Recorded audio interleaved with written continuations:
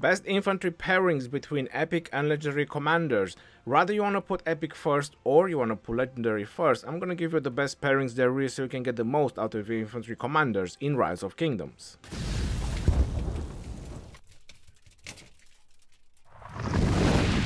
Hello everyone and welcome back to another Rise of Kingdom video. My name is Legend Rhony and today I'm going to talk about epic commanders and legendary commanders for your infantry marchers so you can make pairings between epic and legendary because you're wondering why. Like once you reach Season of Conquest, a lot of people are saying that epic commanders have no utilities and are probably no longer so useful. But there is a couple of things that you need to keep in mind. KVK 1 to 3 now is very paced up, which means that it's not going to take long before you reach Season of Conquest. But like your, your kingdom and like a lot of players in your kingdom, there is a lot of other kingdoms that are in the same situation. So you have a very high chance of meeting other Season of Conquest kingdoms that are in the same situation of your kingdom, like not having enough commanders so you can just go with legendary on the field. And for that reason, you have to do some epic commanders as well, or at least you have to do a mix like putting some epic commanders as a second in command to some of your legendary because you want to bring more marches on the field. Especially the starting murder ball is very important where numbers count, right? If things gonna pan out later on and for example it becomes to uh, flag fighting where there is just 20 30 marches and obviously they will just target the weaker marches then you can probably stop using those marches and just bring out your legendaries. But when is the big, big murder ball, the big giant fight that at the beginning, then you can bring as many marches as you can as long as you're not lagging and you're paying attention to your marches because you can definitely help out your team. So I hope that makes sense, the reason of these marches. These marches will also help you a lot in KVK 1, 2 and 3 because they include a lot of epic commanders. Before I'm gonna go further into the video, there is uh, two things I want to mention about. One is make sure you join my Discord if you're interested about talents. On my Discord you have all the commanders listed specifically for each commander. You have the talent trees, it's very easy, free access. You just click on the channel with the commander that you're interested in and you see the talent tree. The second thing is the most important part of KVK is field fighting. You're probably wondering why do I have the champions of Olympia in the background? Because a lot of you did not think about it, but this event is the best event where you can learn how to field fight for free. As long as this event is up, for free you can join on this event and you can learn how to field fight. Because you can play at any time, at any hour, as long as the event is up. And you're probably wondering, why am I saying this? I'm gonna post two pictures on the top, and that might change your mind why I'm talking about this, or I probably already posted the pictures, where I'm showing you that epics can beat legendary. I'm showing you that 4 ounces of pressure applied correctly can move a thousand pounds. So I hope that tells you a lot regarding that. Going back to our commander pairings, we have Bjorn Ironside, which obviously right now is uh, one of the commanders that everyone is talking about. He's the newish epic commander that we have and personally, I'm more hyped about him than I am about his father, Ragnar.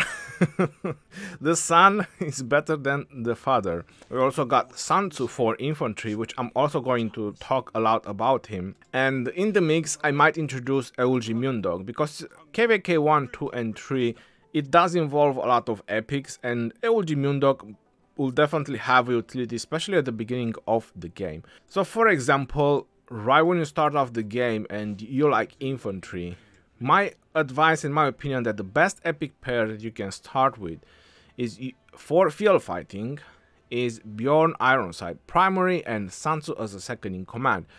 Now the first first epic you should start with, I've done a video about it where I talked about the Viking civilization, the breakdown of the Viking civilization and um, you can go ahead and check that video because I also mentioned like what is the civilization that you should choose at the start, like when you start playing the game. Now, going further than that, I'm talking about field battling marches right now. So Bjorn Ironside primary with Sun Tzu as a second in command. Because Bjorn Ironside, once you obtain his expertise, he's debuffing up to 3 targets to get increased skill damage. And then Sun Tzu does AoE. So for that matter, this is a very nice combination. Bjorn also has the skill talent tree.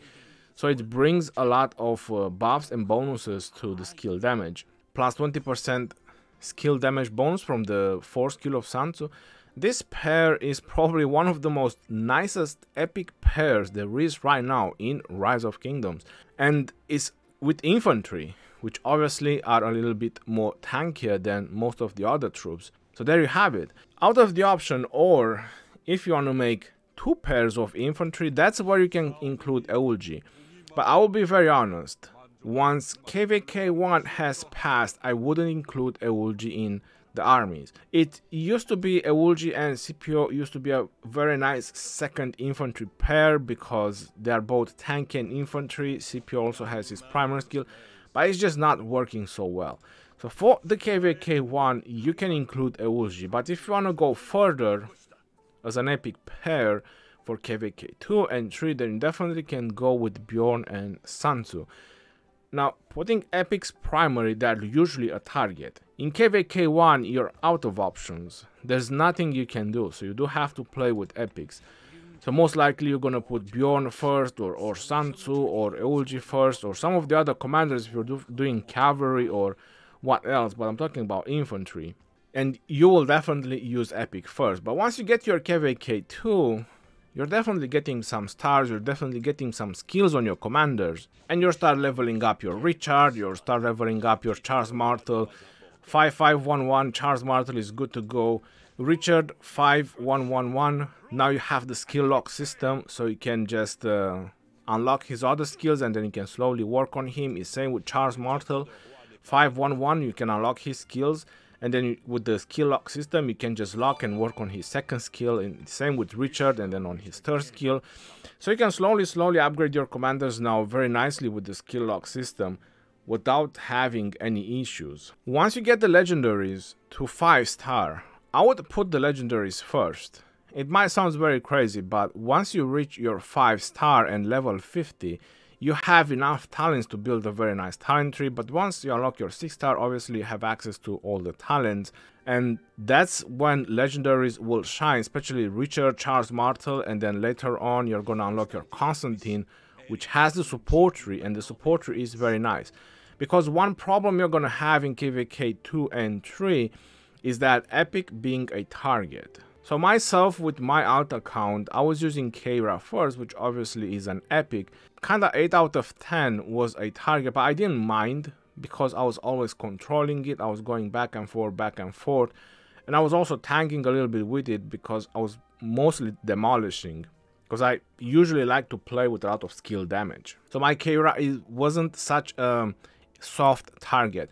And that's why legendaries come into play because these commanders are well known for being very defensive and being able to soak up a lot of damage and players tend to go for a Minamoto, for a YSG, for an El Cid or various other soft targets that um, players tend to use in KVK 2 and 3, maybe even an Alexander primary. It might be something even more easier to go down people are looking for kills, right? And that's what you're looking for as well. So once you get your Richard up and you get your Charles Martel up, you're probably wondering how you should uh, pair your, your commanders. I have seen that uh, Alexander with Bjorn was able to take down a Saladin and William. Now obviously William is a Season of Conquest commander, not KVK 1, 2 and 3. So there you have it, one on one Alex and Bjorn took down Saladin and William, which honestly I was very surprised. Saladin was 5551, but William was max skill, and Bjorn is an epic commander. But I'm guessing that is the instant damage, so it was all based on luck. Because Alexander has instant damage, Bjorn has instant damage as well on his uh, third or fourth skill. Let's have a look. That is his fourth skill. Another 800. So a lot of RNG can be involved going one-on-one. -on -one. But this can tell you that even on the field, it can be a very nice pair, but also pretty squishy. Because the only defense that you have is from Alexander, you have the shield, and while you have the shield, you have more defense, or this 10% defense from Bjorn, which is not so high. Also from the talent tree, from infantry, you get a little bit more defensive option, but I would prefer to have something more solid leading on being defensive. Like if that's what you want, like having defensive marchers, then I would probably go with a Charles Martel and um, a Sun Tzu or a Charles Martel and Bjorn. Charles Martel being primary, or you can also go with a Richard and Bjorn or a Richard and Alex, and uh, you can do a Charles Martel and Sun Tzu, and you can probably do a Constantine and Bjorn. So that way you're hiding the epics behind the legendary. That way you have less chances that your epics will be a target. What personally I would do, I wouldn't be afraid to use the epics first. And why is that? Because one, I, when I fight or when I do field fighting, I always use 50% expansion. So my army capacity is always high, which makes a difference. So that way you can go with epics first. And you also need to have very good equipment on your commanders. For example, not necessarily legendary, but as much defense and health as possible on your infantry marchers. So you're noticing that I have a lot of epics and blues and obviously if I show you further on my Aethelflaed you can have gloves and you, you can have chest pieces which gives you even more defense. So you can empower your infantry further on being even more defensive with the equipment as well.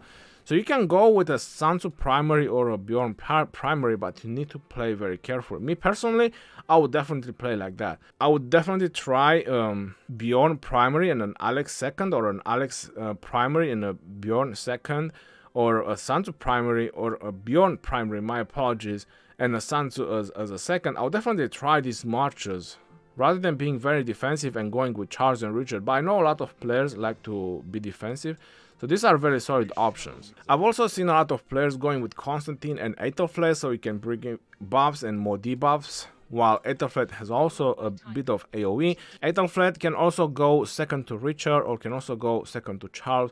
So it's pretty universal commander. And by the way, if you're using Aethelflaed as a second one of these marches, you don't have to do mix. You have to do just one type of truce because these commanders have infantry specialization. And if you go to the talents, you have a very important talent which says when army led by this commander consists only of infantry units. That's very important. So you cannot have mix while Charles Martel, Richard, Constantine, Alex, uh, Sun Tzu, Bjorn or whichever other commander is infantry and is leading because you will mess up with that talent and that's a very nice and very important talent for infantry to survive more on the battlefield. A very interesting pair between epic and legendary that I used was with uh, Alex and Sun Tzu. Alex being first and uh, Sun Tzu as a second in command. It gives it gave me some uh, surprising results because on my alt account in KVK2 there was not many options that I could have gone with on the field. So I had a max kill Alexander and I was using Sun Tzu as a second in command and it worked phenomenal. A very very nice pair. I used uh, Charles and Aethelflaed for as long as I had infantry for two marches, because once I didn't, I had to drop them because I was using too much infantry. Charles and Aethelflaed, and um, I was using Keira primary with YSG as a second, and my other march was Saladin with uh, Baibars for even more AoE. So there you have it, even more legendary and epics that are not related to infantry that you can use. More AoE, more uh, slow, because Baibars does AoE damage and slow as well. So that was my sole purpose to bring in the murder ball as much AoE, AoE debuffs. Once you get into the season of conquest and uh, you still want to use epics, my recommendation is to put them a second. That's the one time when I would 100% recommend you to hide the epics. If you want KVK 1, 2 and 3 like I said, I wouldn't hide using epics primary. Because with the equipment you can empower their strength and with the 50% arm expansion you'll be alright. But once you get to the season of conquest is the crystal tech and that's when epics are best to be used as a second. So for those times if you still want to use like Sun Tzu and Bjorn and various other epic commanders you must hide them. Now for example you want to try a Guan Yu and Bjorn, that might be okay, but if you have an Alex, it's way better. I have tested, and Guan and Alex obviously is way better.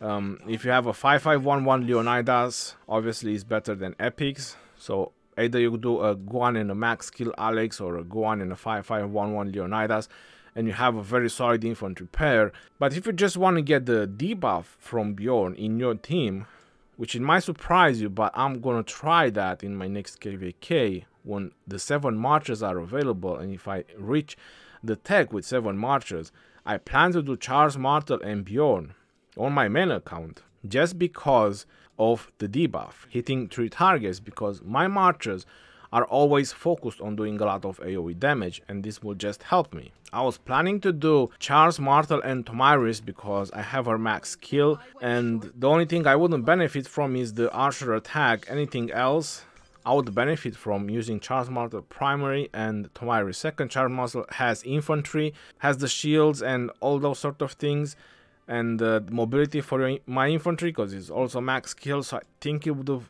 worked pretty well. I've got this March from Dragotin, just to put it out there. I've seen it at him the first time, Charles Martel and Tomyris, and I also talked with him in private, and he said that is is a very nice and solid march to use, Charles and Tomyris. But I was thinking that um, it might be better if I use Bjorn to have more AoE debuffs because my marches are all doing so much AoE. So Charles and Bjorn can be a very solid pair that you can use, but obviously if you have Sun Tzu, for AoE damage, Sun Tzu is even higher value than Bjorn. So if you really want to just get as much AoE value, then you definitely want to go with Sun Tzu. So it all depends what are the reasons of using the Epic as a second in command. And Richard can be paired with a lot of other commanders as well, but Richard and Bjorn can also work, or Richard and Sun Tzu can also work just to bring more AoE on the field. Constantine and Bjorn can also work. And then it comes down to Alex, you're probably wondering, but why not use Alex primary? Once you get into the Season of Conquest, Alex is also one of those commanders that I would prefer to hide as a second in command because his defensive options are not so great. But I would put Alex primary if my other marches are all high nuking. So for example, if you use Saladin on the field, if you know you're going to use something like Artemisia, like um, Ramses, like Guan Yu, then you can definitely use Alex primary as well. So it all matters how you do your marches. Like you want to do your marches just going full damage, like full nuking, just doing a lot of skill damage. So that way you're not scared from hiding one of your marches because they will probably just swarm it down. But in the same time, you're going to deliver so much damage as well that they might have second thoughts and they might just retreat and that way you're saving your one nuking marches that they are trying to nuke or you just want to go all defensive. So this is the two options that you want to think about it because it's definitely going to make a difference. A lot of players are going in with a Genghis and double C. I'm just giving you an example. While having a Richard, a Charles Martel and a Saladin now you tell me does your opponents were really going to target your Richard or your Charles Martel or your Saladin when you have a Genghis and a double C on the field this is definitely not going to be the situation. So this is just an example that will help you out how to make your pairs as well. I would say that Sun Tzu and Bjorn can definitely have a long life that you can use them as a second in command into your marches until you reach the necessary amount of legendaries. So most likely you do your KVK 1, 2 and 3 and you can most likely use them in a, a KVK 4 as well. But after that you need to make sure that you have enough legendaries and probably stop using the epics. From my own experience, since I started playing the game, what I have noticed is that epics are very good about one year or one year and two months, one year and three months maximum. That's the the life of the epic commanders. Once you pass a year and three months, you need to replace them. The only few epics that are still very useful or can still have a lot of utilities after that is Joan of Arc, because that's still unique. Her buff is very, very unique. And then you have Sun Tzu, which he with his amazing AoE, right? And uh, Bjorn. We have Bjorn now as well because uh, he's having AoE debuff. He's also infantry has instant damage, infantry uh, stats. And if you want to go more defensive, because I was mentioning about uh, Leonidas, you can obviously put Leonidas first, and you can put an epic as a second if you just want to bring more infantry and uh, more epic commanders into the mix on the field. That can also work. Let me know in the comment section below what do you think about these pairings? What do you think about Sun Tzu, Bjorn, Joan of Arc? Do they still have a lot of utilities in Rise of Kingdoms? Or you should not use them at all in Season of Conquest. I would like to hear your thoughts and maybe you can give some guidance to some players who are watching this video. Until next time, this is your boy Rhony signing off. Peace out, yo, and take care. See you on the next one, and stay safe out there, my friends.